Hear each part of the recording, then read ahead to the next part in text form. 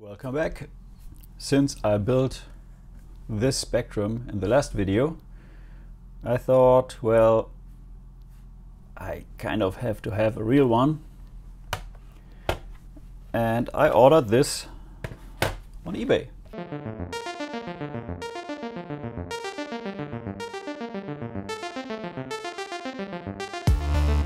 And it set me back 39 euros and it's in rough condition. It's very dirty. You can see it if I hold it like this. I have no idea if it works. That's very, very, very dirty. Um, but it's a real Spectrum and it seems to have some composite mod and nothing else. There's no power supply and all that. So as usual, we have to build that and I already got few parts for that. I will build a USB power supply and for that I have this plug here which goes here and this is 9 volt center negative.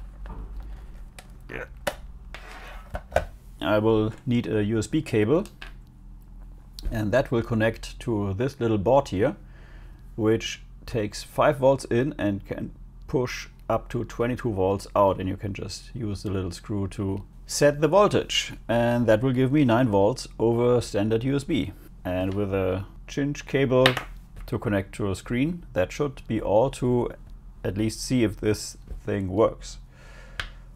So let's build a power cable and check it out but before we do this let's maybe take a peek inside of this. So there are five screws holding this together.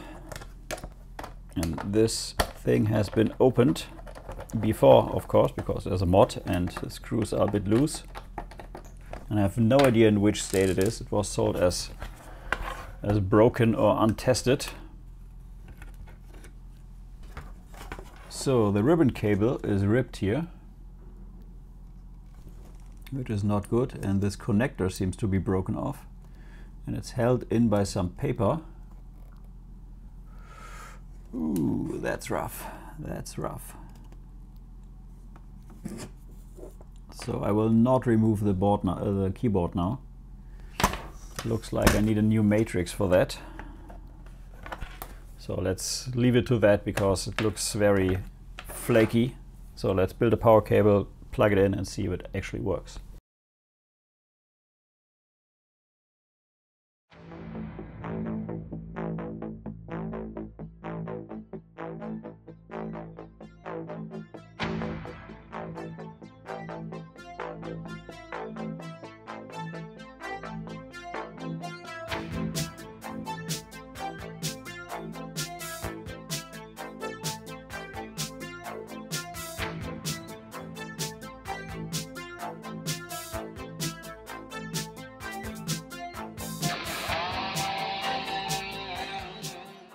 Okay, moment of truth. I'm not sure if this is actually a composite mod, so we might not see anything, but who knows. Let's see. Oh. That made very strange noises.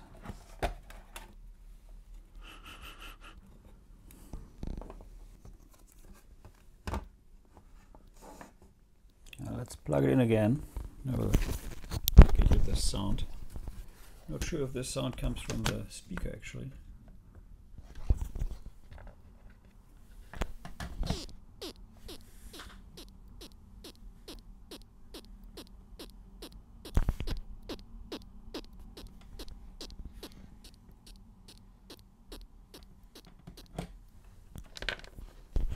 Hmm. Okay, so I think I will take the keyboard out. Not quite sure how to do. Uh, okay, so there's the keyboard cable and then there's this little plastic thing in there. Oh shit, holding it in and yeah, that was the worst case scenario. So I just ripped the whole cable out. Yeah, so I managed to actually rip the cable. Yeah, so let's let's see what's going on here. So I have this nice ripped cable here well done, well done. well, maybe I can somehow fix this. And I have this cable which is also not in great condition. Okay, so no idea what's happening here. No idea how this should look. Let's plug it in again.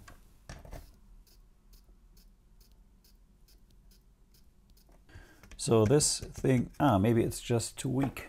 Let me try this one here. Let's try a different, try more amps.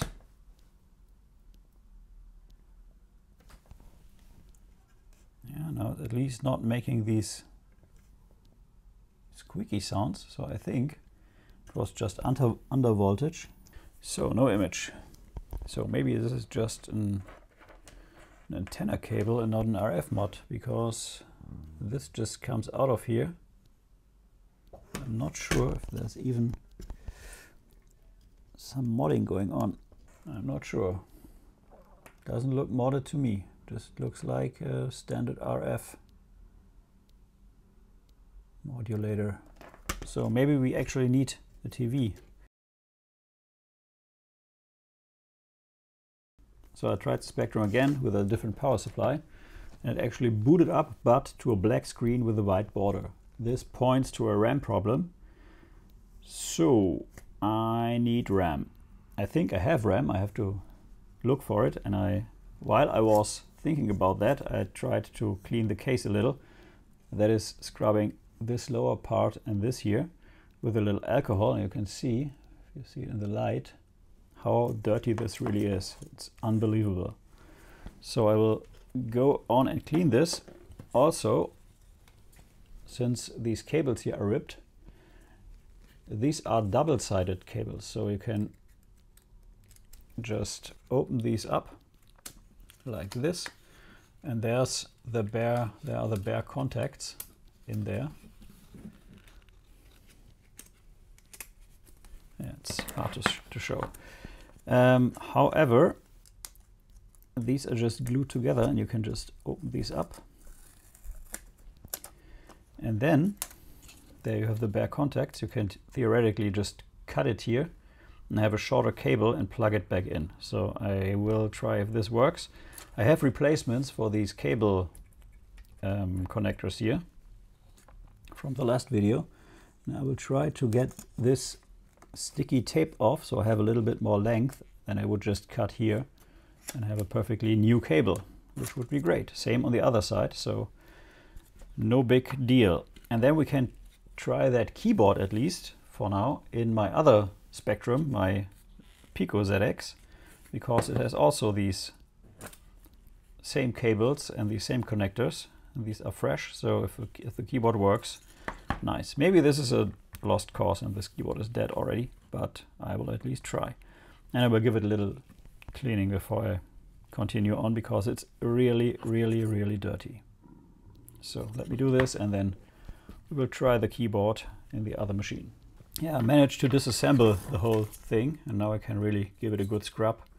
Remove the old tape here and clean the keys which are really dirty, in very good shape but really dirty.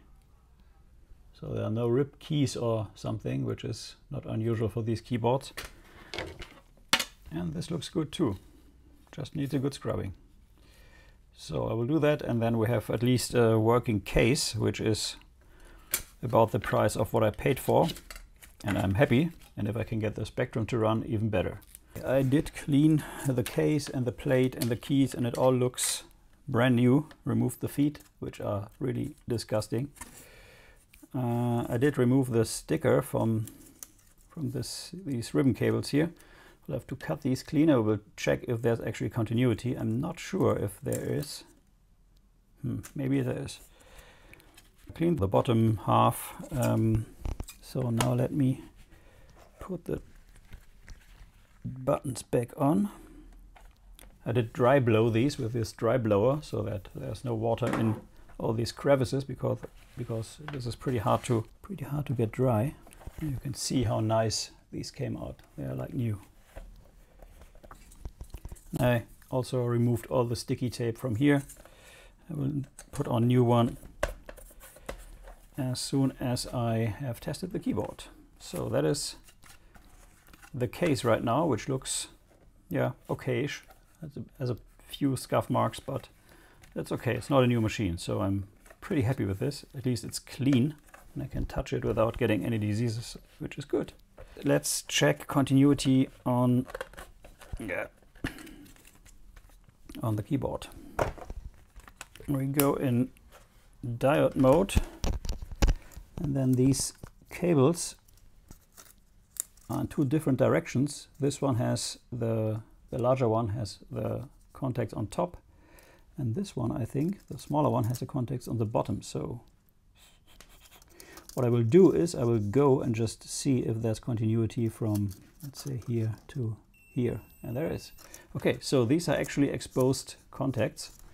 So if I just cut these clean off,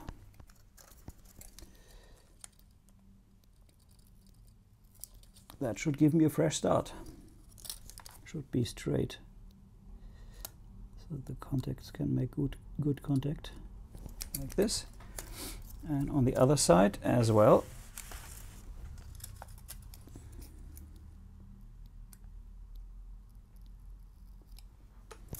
like this. I'm not sure if it works. We will see. Um, but I'm hopeful. Nice. So let me set up the other spectrum and then we will check it out. Okay got the orange one here. Unscrewed the top. Let's remove the cables. And let's try the other keyboard. It's a bit more fiddly to do this because the cables are shorter, but it should should work. Okay, cables are in. So let me show you. I actually connected this and at least this works. Let's get into the basic. One, two, three, four, five, six, seven, eight, nine, zero. Yeah, so final verdict, all the keys work. Nice. So at the minimum, I got a working keyboard and a case out of this.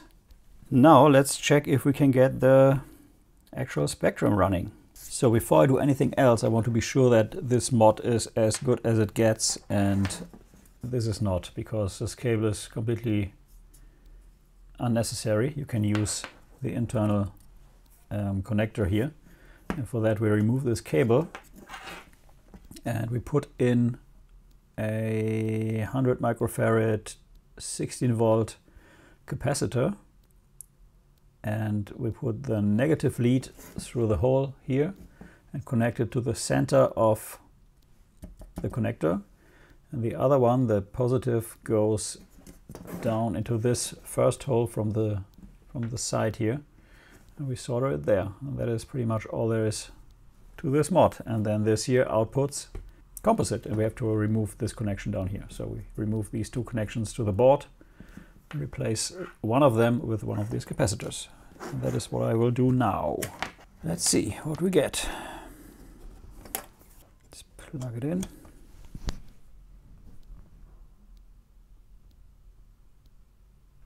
Yeah, it's the same. Black screen, red frame. Nice. Okay, so at least we did a better mod job at this, which is good. I like it. Okay, step one so let's let's get a lay of this board. We have the ULA here, which is like the PLA on C64s and stuff. I think this is a ROM because it says Sinclair. This is a CPU. It's a D780C-1, which is a Z Z80 or Z80 clone, but it's uh, a plug-in replacement. Um, we have the lower memory 16K and the upper memory 32K. These are D416C chips by NEC. These are 4116s, 2468. Of these give 16K of RAM, so one is 2K. And if these fail, you get a black screen. So if one of these fails, I have replacements. If one of these fails, I think I have replacements. I'm not sure. these need three voltages, which is minus 5, plus 5, and 12 volts, which are here, here, and here. So if they have these voltages, we can assume that the voltages on the board are good because we have then all three voltages that are needed. Incoming the 9 volts here, getting regulated down to I think 5 and the magic up to 12. Yeah, so what we can do next is measure voltages. Powering up and we use the ground layer here for ground. Yeah, I think now it's better. And we check here and we have clean 5 volts. Check here. We have clean, almost clean 12 volts and we should have minus 5 up here. And we have. I think the 5 volts were here. I'm not sure. Yeah, they are. So voltages are pretty much perfect, at least here. By the way, the, the spectrum runs without these chips, so we, I could desolder all these chips if they are faulty and could leave them out, and the machine would run with a 16K down here. So if you ever have a faulty RAM chip here, just desolder them all and uh, yeah, just use the 16K until you have a replacement. The ULA, by the way, is uh, the hardest to come by or the most expensive. Z80 CPUs are still produced, so you can get these for cheap. But these things are expensive. And there are plug-in replacements, um, I think with FPGA or something, which you can use. But I don't have one. So if this is the fault, I have no replacement. But here's stuff on this board like, well, I, I, I don't think this is factory. Or this wire here, I'm not sure. So I think we should probably pull up some schematics and, and check. I did remove this sticky tape here and under this there was this construction here which looks a bit odd. I don't think this is factory. Um, this diode has to go over here and these two components are not present on the normal issue 2 board from 1982.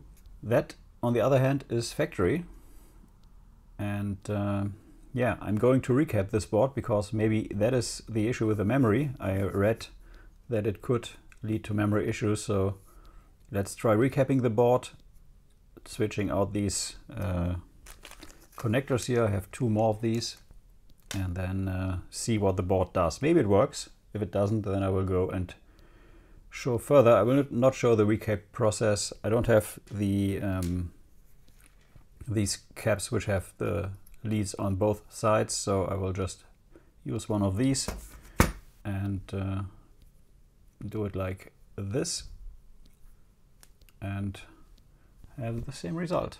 Okay, did change all the caps. There's the carnage.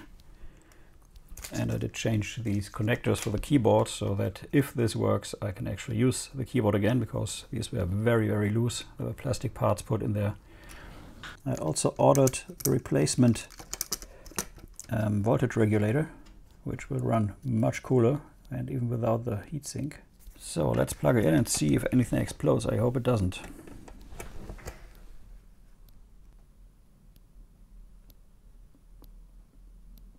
Nope, same result as before. That's good because, well, at least I didn't fuck up the recap. Yeah, still the same fault, but I have a better feeling now having this recapped. So next step would be to remove what's under the heatsink, this construction there. Maybe that is what produces the fault. Or at least see that it works still without this mod, whatever that may might be. This thing here, this diode should go in there, and this construction here shouldn't even exist. Not sure what that is. F found nothing about this. Let me quickly remove this and see what happens. Let's see it still works. That in. Nope, still the same result. Okay, but it works. That's good. So we don't need this little thing, whatever that was. I like it. Okay, so we are now back to factory, which is awesome. And now I can go and actually check for the fault. So I think what I will do is I will resolder all the upper memory, remove it from the board entirely so that I just have the 16K down here. And uh, yeah, the board runs without these, so makes fault finding much easier. So it's the next day and I spent yesterday a few hours and uh, some leaded air to replace all the RAM chips, socket all the RAM, chi RAM chips and replace them and still no fun. I did order a replacement for the voltage regulator which came just in. So I will put this in here that will replace the heatsink. And if we take the heatsink off, there's another fun fact.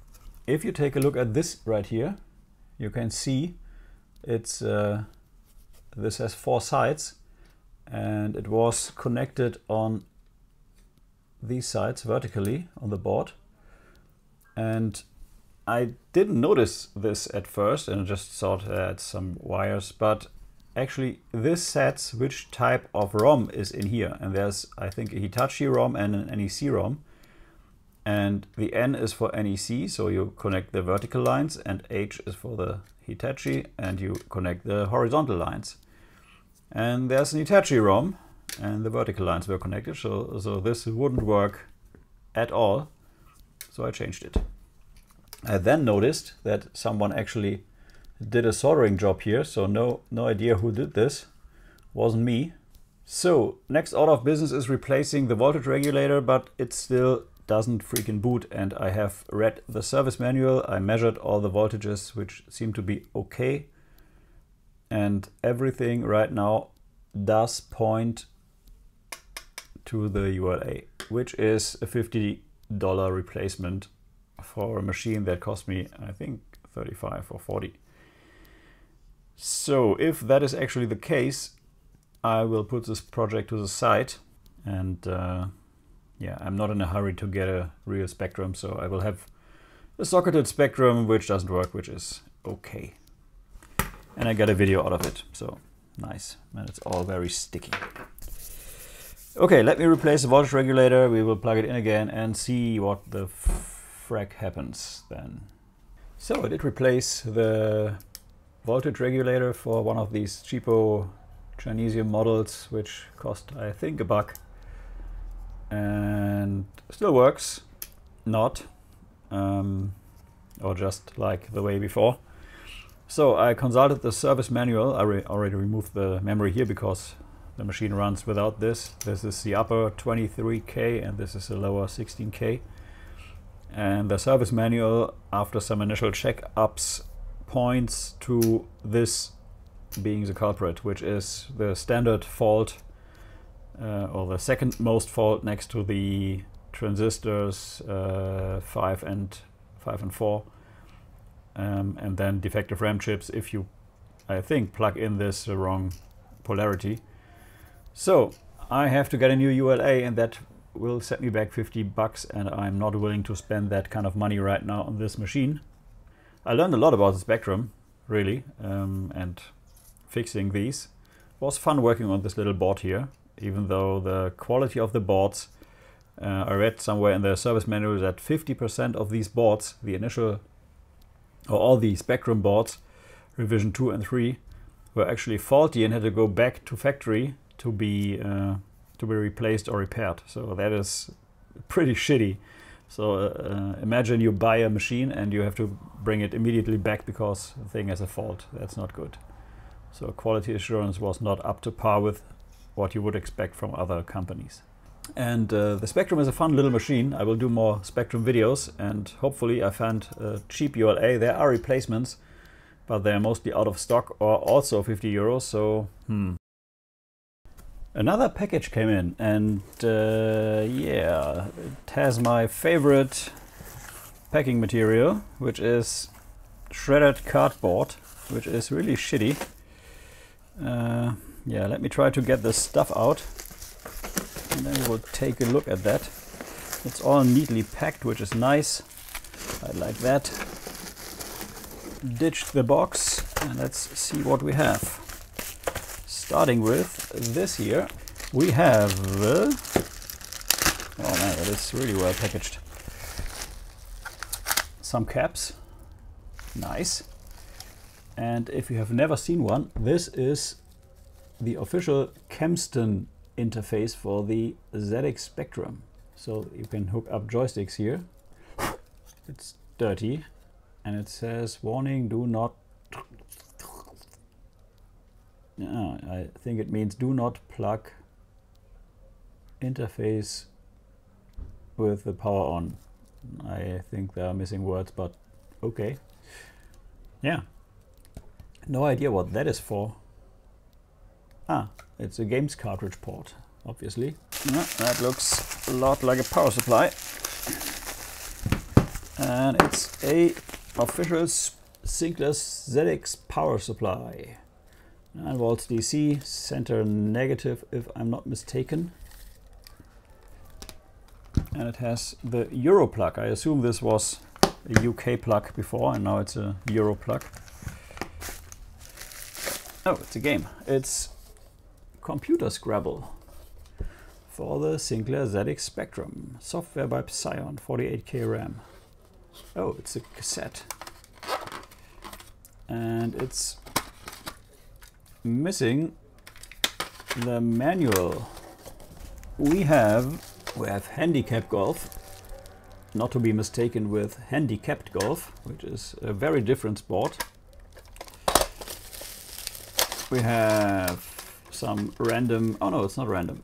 It's Ian Botham's test match Pyjamarama.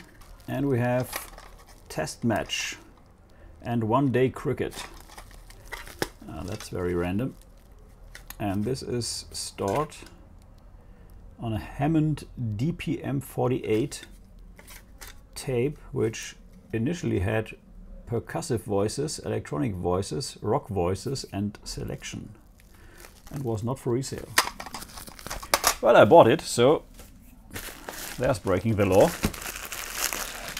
And last but not least, we have a Spectrum, and a real one, and I have no idea if it works. It's one of those classic eBay tested, untested things. And we all know what that means. So, yeah, it does seem to have the composite mod. So we should be able to get a picture out of this. I think I paid 40 for this package here, 40 euros plus shipping. Yeah, let's plug it in and see what it actually does, if it does anything at all.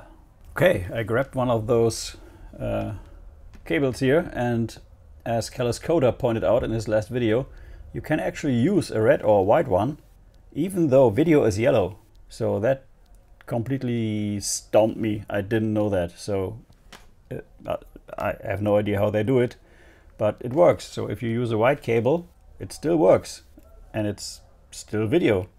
Same for the red one. So very good. Thanks for uh, making this happen and telling me because uh, who would have thought? So let's plug this into the spectrum here. And I have the capture on.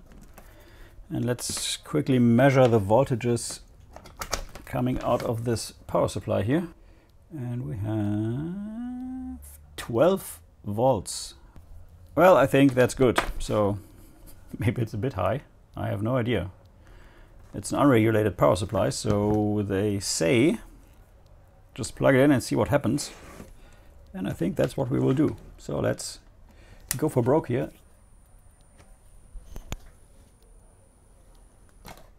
That is making very unhealthy noises.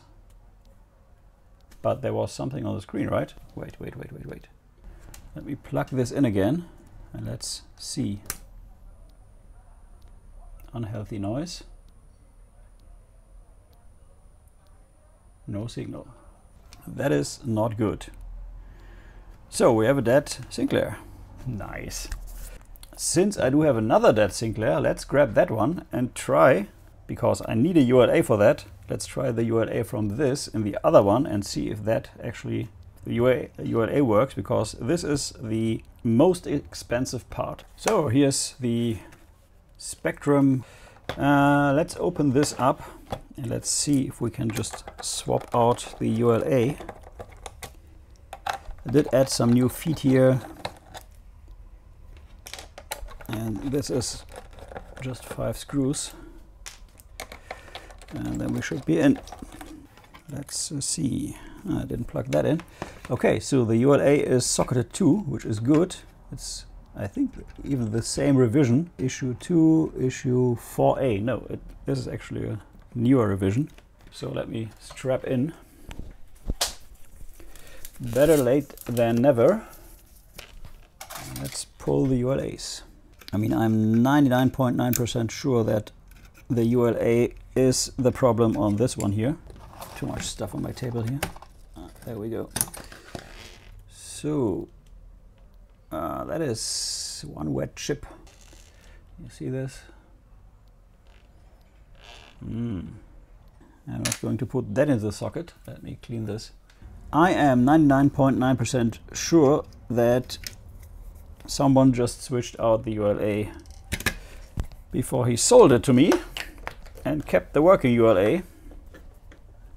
But it is what it is. Let's just see. Maybe I'm wrong. Maybe I'm just too pessimistic about people. Who knows? Who knows?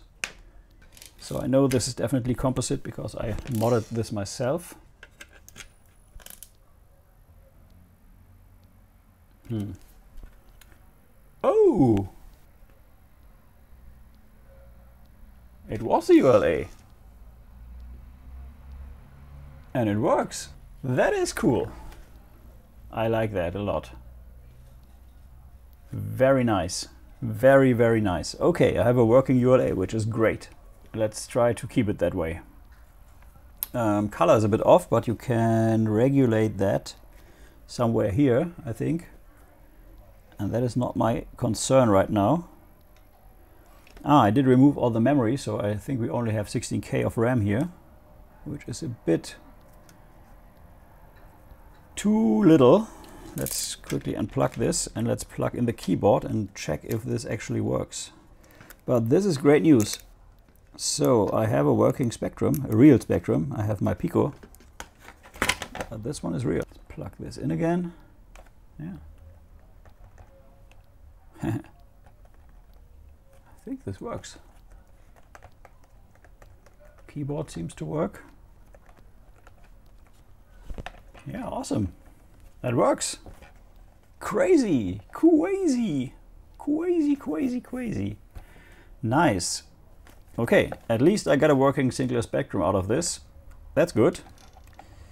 Now, let's uh, see what this right here is all about. Let's see if it's just a power supply. So let's plug, no, let's not plug that in right now. Thank you for watching Retro is the New Black. If you're new to the channel, please like and subscribe. If you like the video, please share. Every like, share, and comment helps a lot. Until next time, bye-bye.